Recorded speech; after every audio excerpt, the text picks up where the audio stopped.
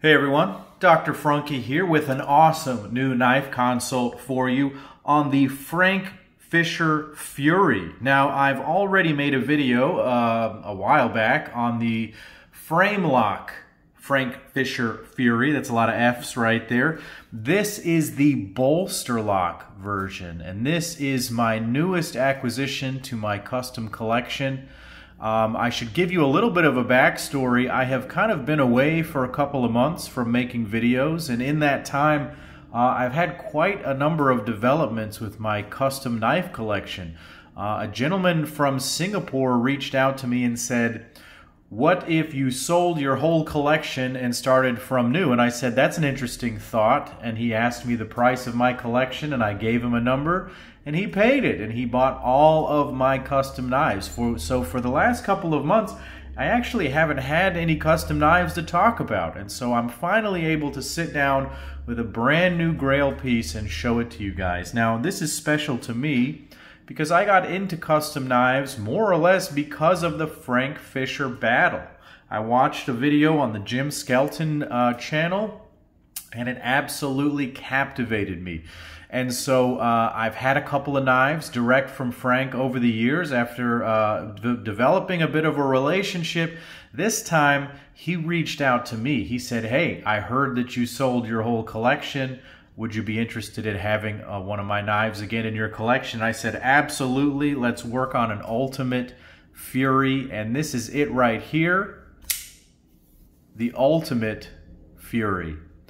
So, right off the bat, we'll give you a quick overview here. There is a Chad Nichols XHP Core Sanmai blade some three alloy Mokuti on the pivot collar with four alloy Zircuti on the scales, the inlay, the back spacer, and the clip. So we're going to go ahead and get into this. Uh, I wanted to show you the knife a bit before I get my hands all over it. One of the unfortunate side effects of having this beautiful Zircuti material is that it does change its color a little bit as I get my finger oils on the scales. So Let's go ahead and take a look at this beautiful, beautiful Frank Fischer Fury. That double recurve blade is the thing that got me into custom knives to begin with. Uh, some people don't like it. Some people think it looks a little bit silly, but for that exact reason, I like it. It's a bit like the angles on a Lamborghini. It's like the Countach that you hang on your wall. It looks a bit ridiculous, uh, but it really captures your imagination. So let's go ahead and get some vital signs on the Fury. This is the same size as the previous Fury that I had before. It's got about a 3.1 inch cutting length, about a 3.2 inch blade maybe overall. Uh, overall length, you're looking at about 7.3, 7.4 inches. The uh, handle length is coming in right at 4 inches with an effective grip area somewhere in the 3.3 inch range right there. So it's a little bit on the smaller side, which is a little bit unusual for me, but I've been learning to love these smaller size knives because they're just a little bit easier to carry, a little bit less intimidating. Here's a pretty large knife, the Spyderco Paramilitary 2 for a size comparison. This is the 10V model right here. You can see that the uh, Fury comes in considerably smaller than that.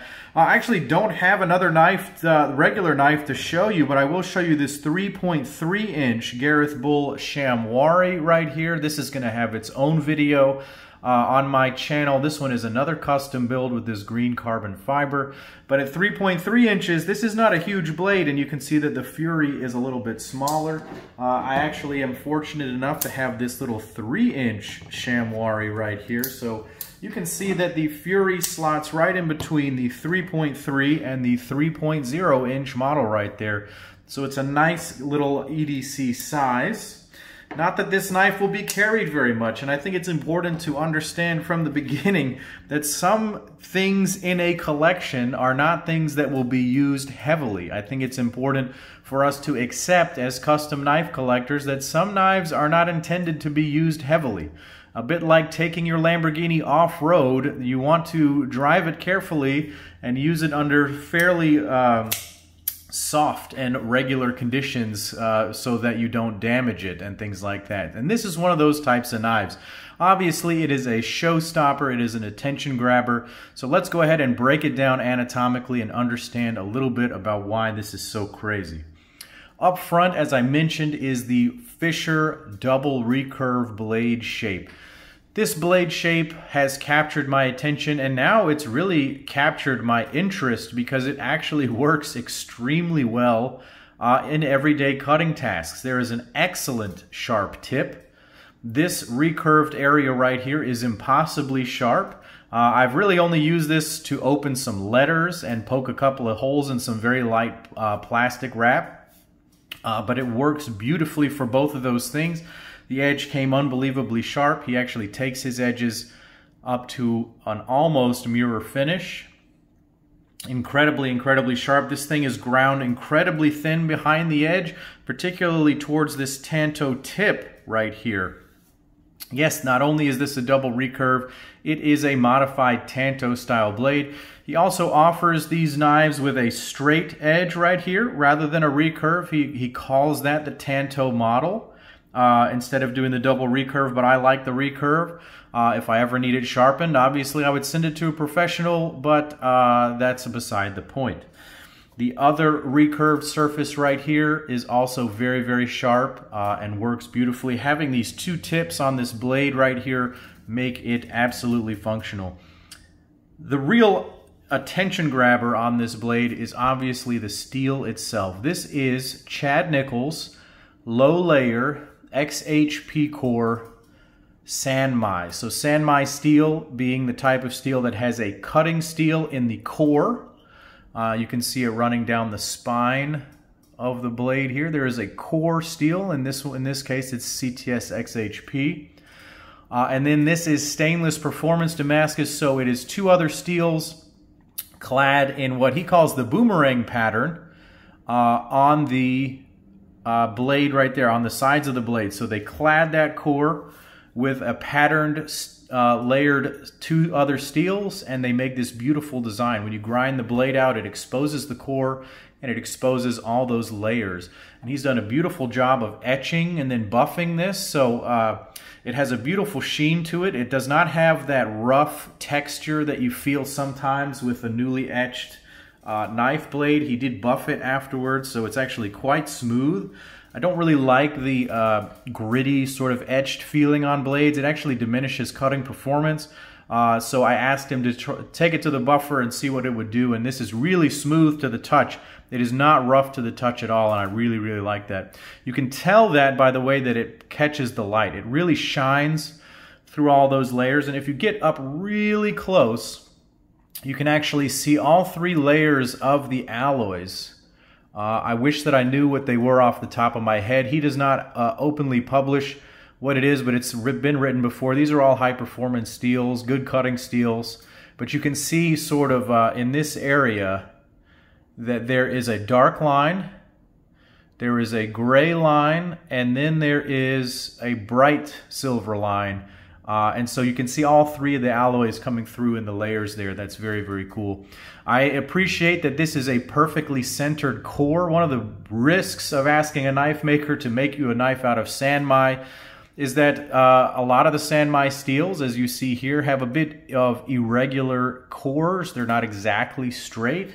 Uh, Mike Norris has recently come up with a solution to this, and his cores are perfectly straight. I have to say I don't really like that look either because it's almost too straight, but it is functional. Uh, this is a perfectly centered core though. I, I asked him, I said, I really have to have that core centered. I'm so OCD about it. Please make it centered. And he did a perfect job. Uh, I love how it tapers down like a waterfall towards the back of the grind the way that he grinds the blade, he leaves the heel uh, in, a, in a bit of an artistic fashion right, right there. It allows for the layers of the Damascus cladding to kind of come down and form a beautiful edge right there. Very, very cool. So uh, you've probably noticed, uh, we'll go ahead and move back to the pivot. This is another showstopper feature on this knife. Frank Fischer is known for his beautiful pivot designs, and this is his latest and greatest iteration. Uh, his pivot is called the 10-pointed star pivot. You should go back and watch a number of my previous videos with Frank Fischer knives to see what the standard pivot looks like. Again, I'm sorry I don't have one because they sold. Uh, but this one, as you can see, has the slight modification. Let's see if my camera will focus. On this. It uh, is largely the same pivot except that now he's milled some extra lines, uh, little ray bursts around the inner layer of that pivot. Absolutely mesmerizing. I can stare at this for hours. It's like a fine watchmaker's piece. Around the pivot, as I mentioned at the beginning, is high contrast three alloy Chad Nichols uh, Mokuti. That is uh, three layers of titanium uh, that are forge welded, just like the Damascus steel. So he produced the Damascus and the titanium alloys on this. Uh, the uh, pivot itself, the metal around on the inside that's all milled here and beautiful. Uh, this is all done by hand uh, as well uh, as this is a steel pivot. This is not something I knew, and this is something that uh, new Fischer owners should be aware of. That middle section is made of steel. Uh, the inner section, the inlay, is zircuti. You can see the layers of zirconium and titanium, just like you can on the scales over here. So he inlays that and it's uh, nude and clean. Uh, and then he uh, flame anodizes the zircuti. In the process of flame anodizing the zircuti to get the blue colors, the pivots themselves, the steel pivots, become blued uh, or colored. And these you can see, this one took a nice bronze, almost purple, little hints of purple on that side. This one took an even darker bronze with a bit more of the purple coloration. On this side, it's absolutely beautiful. Sometimes he gets a deep dark blue as well. I like the contrast on this. It sets it apart, uh, the steel part from the titanium part. So it's not just all blues and purples. I really, really like that. I could stare at that pivot for days. On the inside, we're running on ball bearings. Very smooth action, very quick deployment. Perfect, perfect detent. This is a bolster lock. Uh, I don't think I mentioned that at the beginning. So I've done a video on the frame lock. This is what we would call the bolster lock because it has these scales and the lock is technically part of the bolster, uh, as you would call it. So we call that a bolster lock. So very, very cool. The action is great. The lockup is very early. In the typical Frank Fischer fashion, the uh, detent ball has been shaved flat for a very smooth action. The detent track has been masked uh, during the etching process, so it runs on smooth steel, so that's very, very nice. Let's go ahead and move back to the handles. I want to make sure that we have a perfect visualization here on these scales. So I need to wipe off any finger oils that I've accumulated during the video here so that you guys can get a full appreciation of what's going on here. When Frank asked the spec that I wanted, uh, I mentioned that I wanted Zircuti scales. This was originally going to have an Intrepid Damascus blade, but when he told me that he had Boomerang Zircuti and Boomerang Sanmai, uh, I had to go for it because I really like matching patterns. Uh, it's been a hobby, uh, a habit of mine, something I've been going for with a lot of knives, including that Miura, including the uh, Warbird that I had that had very similar dark tie and Thor Damakor.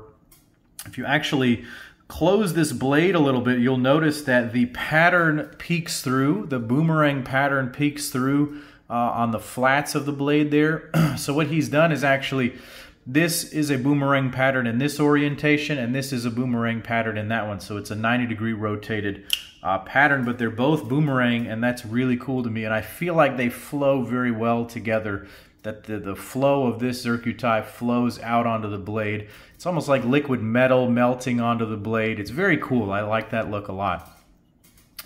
But more about these scales and the frame. We have a black ceramic coated frame. This is the way I like to have them from Frank. I really like this uh, ceramic coating. This is KG Nano Ceramic Coating. Uh, very high durability. They use it on machine guns in the military. Super high quality durable coating uh, that protects the frame. Got that all around. Uh, and then the Zircuti scales. So this is three alloys of titanium and zirconium. So if you take a look here, uh, he's contoured these scales heavily and you can see the different layers of the materials. Each of the different alloys of titanium, when you heat anodize it, comes out with a slightly different hue of blue or purple or light blue. You can see little bright spots of very light blue, almost turquoise, transitioning into uh, true blue and a dark blue, and then there's even purples that are poking through. You can see a little bit of the purples here. Even the clip is a hidden hardware clip, also made of the same four alloy Zircuti. One of the things I love about the bolster lock and what makes this knife so impressive, you may not have even noticed this yet, but there is no hardware to be seen on this knife. Take a look at this knife, even on the back. All you see is the beautiful customized pivot and it seems that he's assembled this knife by some sort of dark magic. It is just held together very solidly, but you see none of the hardware at all. It is a beautiful, beautiful knife, and it is extremely subtle how he hides everything uh, to make this just that extra layer of quality. Uh, how does it feel in the hand? It feels great. It fits my very large hand. I wear a size 8 sterile glove. It fits my hand like a glove. Even though it's a bit of a smaller knife, I've always liked the Fury because it's exactly the right size. I love how my finger falls into this choil here and my hand naturally grips this. There's a nice curvature to the handle so that it fits the hand very well. I should mention that this has a Zircuti back spacer too. You can see this is a end cut now so you can see what this material looks like in cross section. Uh, you can see the layers, the thick layers of zirconium and the different layering of the titaniums. This actually gives you a bit more of the anatomical breakdown here of the composition where you see how those layers of titanium are layered uh, along with the zirconium and this wraps around all the way over here.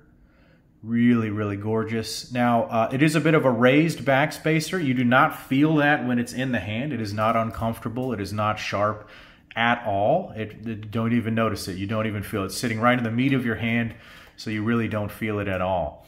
Uh, as I mentioned, it has great ergonomics, and I really enjoy that. It's This particular build is a little bit on the heavier side. I didn't weigh this at the beginning of the video, but this one is coming in at 5.87 ounces.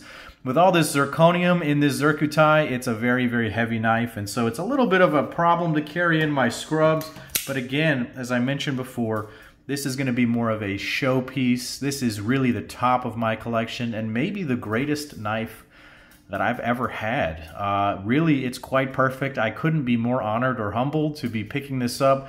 A grail piece from my grail maker uh, where he asked to build a knife for me. So really and truly, this is a special piece to me and I'm so thankful to have it. Let me know what you guys think of the Frank Fischer Bolster Lock Fury. Go ahead and click like and subscribe in the video uh, down below and the links down below. And uh, I appreciate you guys watching. As always, this is Dr. Frunkey saying take care.